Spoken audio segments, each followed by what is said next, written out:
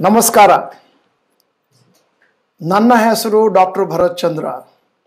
ಇವತ್ತು ನಾನು ಮಾತನಾಡುತ್ತಿರೋ ವಿಚಾರ ಬಹಳ ಬಹಳ ಪ್ರಾಮುಖ್ಯ. ಕರ್ನಾಟಕದ ಎಲ್ಲ ಮನೆಗೂ ಈ ವಿಡಿಯೋ ತಲುಪಬೇಕು.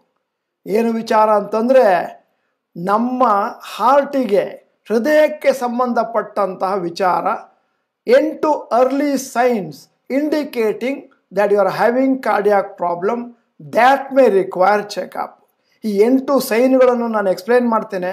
ಇದೇನಾದರೂ ಇದ್ದರೆ ಒಂದು ಅಥವಾ ಎರಡು ಸಿಂಪ್ಟಮ್ಗಳಿದ್ದರೆ ನೀವು ಅರ್ಜೆಂಟಾಗಿ ಡಾಕ್ಟ್ರನ್ನ ಕಾಂಟ್ಯಾಕ್ಟ್ ಮಾಡಬೇಕು. ಇದು ಐವತ್ತು ವರ್ಷಗಳ ಕೆಳಗಿನವ್ರಿಗೂ ಬರ್ಬೋದು, ಮೇಲಿನವ್ರಿಗೂ ಬರ್ಬೋದು. ಬಹಳ ಹಿಂದಿನ ದಿನಗಳಲ್ಲಿ ಏನು ಹೇಳ್ತಿದ್ರು ಅಂತಂದರೆ, ಐವತ್ತು ವರ್ಷದ ಮೇಲೇ ಹಾರ್ಟ್ ಪ್ರಾಬ್ಲಮ್ ಬರುತ್ತೆ.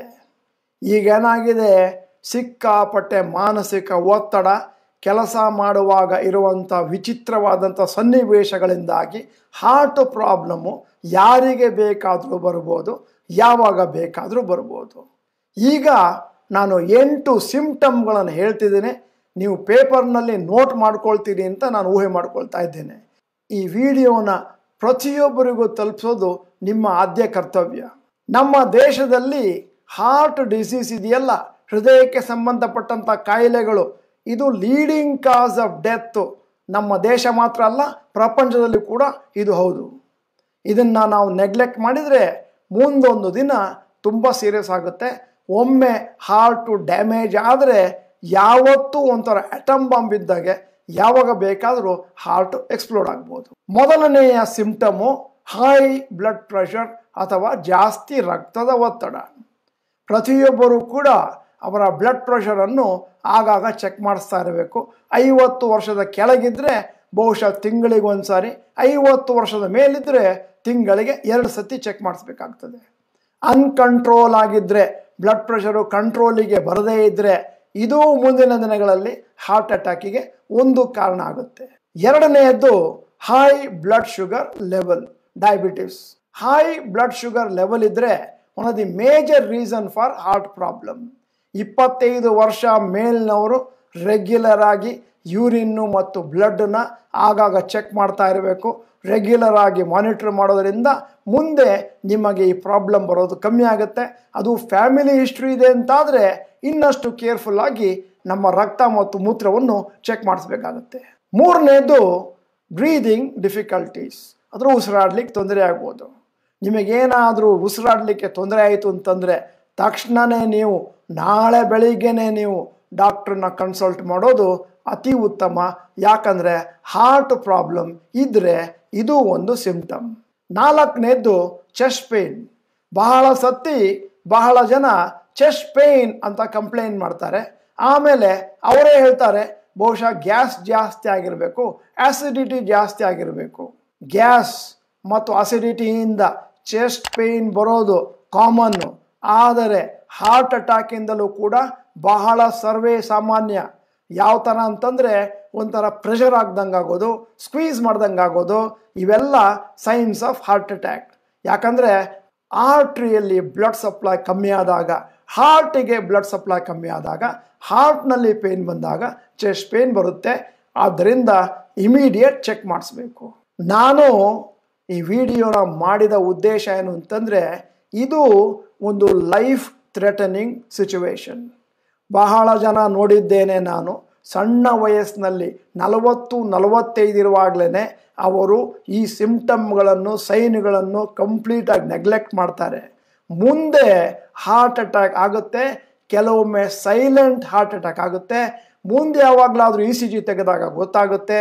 ಆವಾಗ ತುಂಬ ಲೇಟ್ ಅಂತಹ ವ್ಯಕ್ತಿಗಳು ನನ್ನ ಕಣ್ಣ ಮುಂದೆನೆ ನಾನು ನಲವತ್ತೈದು, ಐವತ್ತು, ಅರವತ್ತು ವರ್ಷಕ್ಕೆ ಸಾವನ್ನು ಅಪ್ಪಿದ್ದಾರೆ. ಆದ್ದರಿಂದ ಬಹಳ important. As a social commitment ನಾನು ವಿಡಿಯೋನ ಮಾಡ್ತಾ ಇದ್ದೇನೆ. ಇದು ಕರ್ನಾಟಕದ ಪ್ರತಿಯೊಂದು ಮನೆಗೂ ತಲುಪಬೇಕು.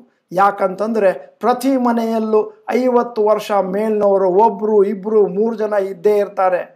ಅವರೆಲ್ಲರೂ ಕೂಡ ಈ ವಿಡಿಯೋನ ನೋಡಿ ಎಂಟು ಸಿಂಪ್ಟಮ್ಗಳನ್ನು ಗುರ್ತು ಹಾಕೊಂಬಿಟ್ಟು ಮುಂದೆ ಯಾವಾಗಲೂ ಅವರು ಬಂದರೆ ತಕ್ಷಣ ಡಾಕ್ಟರ್ ಹತ್ರ ಹೋಗಲಿಕ್ಕೆ ಅನುಕೂಲ ಆಗುತ್ತೆ. ಇದು ನಾನು ಮಾಡ್ತಾ ಇರುವಂತಹ ಸೋಷಲ್ ಕಮಿಟ್ಮೆಂಟು.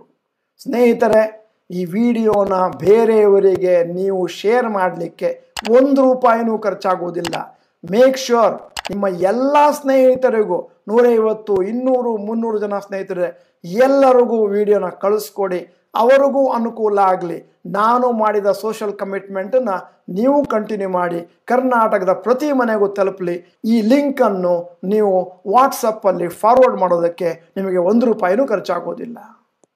ಐದನೆಯ ಸಿಂಪ್ಟಮು ಅಥವಾ ಸೈನು ಹೈ ಕೊಲೆಸ್ಟ್ರಾಲ್ ನಿಮ್ಮ ಕೊಲೆಸ್ಟ್ರಾಲ್ ಲೆವೆಲನ್ನು ಆಗಾಗ ಚೆಕ್ ಮಾಡಿಸ್ತಾ ಇರಿ. ಕನಿಷ್ಠ ಪಕ್ಷ ಆರು ತಿಂಗಳಿಗೊಮ್ಮೆ ಇಲ್ಲ ಒಂದು ವರ್ಷಕ್ಕೊಂದ್ಸರಿ. ಮತ್ತು ಆದಷ್ಟು ಹೆಲ್ದಿ ಫುಡ್ಡು ಅಂದರೆ green vegetables fruits whole greens ಇವನ್ನೆಲ್ಲ ತಗೊಂಡ್ರೆ ಕೊಲೆಸ್ಟ್ರಾಲ್ ಲೆವೆಲ್ಲು ಸ್ವಲ್ಪ ಕಂಟ್ರೋಲಿಗೆ ಬರುತ್ತೆ. ಆರನೆಯ sign feeling dizzy and blackouts dizziness ಮತ್ತು ಬ್ಲ್ಯಾಕ್ಔಟ್ ಬಂತು ಅಂತಂದರೆ ನಿಮ್ಮ ಬ್ಲಡ್ ಸರ್ಕ್ಯುಲೇಷನ್ನು ಸರಿಯಾಗಿಲ್ಲ ಮತ್ತು ನಿಮ್ಮ ಬ್ರೈನಿಗೆ ಬ್ಲಡ್ಡು ಕರೆಕ್ಟಾಗಿ ತಲುಪ್ತಾ ಇಲ್ಲ. ಆದ್ದರಿಂದ ಮೊದಲು ಚೆಕಪ್ಗೆ ಅಳವಡಿಸ್ಕೊಳ್ಬೇಕು. ಏಳನೆಯದು ಎಕ್ಸೆಸ್ಯು ಸ್ವೆಟಿಂಗ್ ಅಥವಾ ಜಾಸ್ತಿ ಬೆವರುವಿಕೆ. ಆಗಾಗ ಜಾಸ್ತಿ ಜಾಸ್ತಿ ಬೆವರೋದು, ಮತ್ತು ಸ್ವಲ್ಪ ಕೆಲಸ ಮಾಡಿದ ಮೇಲೆ ಕೆಲಸ ಮಾಡಿದ್ದಕ್ಕಿಂತ ಜಾಸ್ತಿ ಬೆವರೋದು, ಇವೆಲ್ಲವೂ ಕೂಡ ಹಾರ್ಟಿಗೆ ಸಂಬಂಧಪಟ್ಟಂಥ ಒಂದು ಸೈನ್ಸ್ ಮತ್ತು ಸಿಂಪ್ಟಮ್ಸು ಕೊನೆಯದಾಗಿ swelling in the feet legs and ankles ಬಹಳ ಜನಕ್ಕೆ ಈ ಪ್ರಾಬ್ಲಮ್ ಇದೆ. ಕೆಲವರು ಸ್ವಲ್ಪ ನಡ್ಕೊಂಡು ಹೋದರೆ, ಸ್ವಲ್ಪ ಒಂದು ಜಾಗದಲ್ಲಿ ಕಂಟಿನ್ಯೂಸ್ ಆಗಿ ಕೂತ್ಕೊಂಡ್ರೆ, ಅಥವಾ ಸ್ವಲ್ಪ ಸ್ವಲ್ಪ ಟ್ರಾವೆಲ್ ಮಾಡಿದ್ರೂ ಕಾಲಿನಲ್ಲಿ ಮತ್ತು ಆ್ಯಂಕಲ್ಗಳಲ್ಲಿ ಮತ್ತು ಪಾದದಲ್ಲಿ ಒಂದಷ್ಟು ನೀರು ತುಂಬಿಕೊಂಡಂಗೆ ತುಂಬಿಕೊಳ್ಳುತ್ತೆ. ಇದು ಒಂದು ಕೆಟ್ಟ ಸಿಗ್ನಲ್ಲು ಆದ್ದರಿಂದ ಮೊದಲು ಹಾರ್ಟ್ ಚೆಕಪ್ಗೆ ಹೋಗಲೇಬೇಕು. ಈ ವಿಡಿಯೋನ ನೋಡುವುದರಿಂದ ಬಹಳ ಜನರ ಜೀವ ಉಳಿಯಬಹುದು ಮುಂದಿನ ದಿನಗಳಲ್ಲಿ. ನಾನು ಯಾವ ರೀತಿ ವಿಡಿಯೋ ಮಾಡಿ ನಿಮಗೆ ಕಳಿಸಿದ್ದೇನೋ ಅದೇ ಥರ ನೀವು ನಿಮ್ಮ ಎಲ್ಲ ಸ್ನೇಹಿತರಿಗೂ, ಎಲ್ಲ ಮನೆಗಳಿಗೂ ಇದನ್ನು ಕಳಿಸಿದ್ರೆ ಮುಂದೊಂದು ದಿನ ಜನರ ಜೀವವನ್ನು ಉಳಿಸುವಂಥ ಪುಣ್ಯ ನಿಮಗೂ ಬರುತ್ತೆ. ಈ ವಿಡಿಯೋನ ಕರ್ನಾಟಕದ ಎಲ್ಲ ಮನೆಗೆ ತಲುಪಿಸುವುದು ನಿಮ್ಮ ಸೋಷಲ್ ಕಮಿಟ್ಮೆಂಟು ಮತ್ತು ಒಂದು ಆದ್ಯ ಕರ್ತವ್ಯವಾಗುತ್ತೆ. ದಯವಿಟ್ಟು ಕಳಿಸ್ಕೊಡಿ. ನೀವು ನಮ್ಮ ಚಾನಲ್ ಮೆಂಬರ್ ಅಲ್ಲದಿದ್ದರೆ ಸಬ್ಸ್ಕ್ರೈಬ್ ಬಟನ್ ಬೆಲ್ ಐಕಾನ್ ಒತ್ತಿ. ವಿಡಿಯೋ ಚೆನ್ನಾಗಿದ್ದರೆ ಲೈಕ್ ಬಟನನ್ನು ಒತ್ತಿ. ಎಲ್ಲರಿಗೂ ಕಳಿಸ್ಕೊಡಿ ಶೇರ್ ಮಾಡಿ. ಆಮೇಲೆ ವಿಡಿಯೋದಲ್ಲಿರುವ ಕಂಟೆಂಟು ಚೆನ್ನಾಗಿದೆ ಅಂತಂದರೆ ನೀವು ಯೂಸ್ಫುಲ್ ಅಂತ ಕಮೆಂಟ್ ಬಾಕ್ಸ್ನಲ್ಲಿ ಟೈಪ್ ಮಾಡಿ.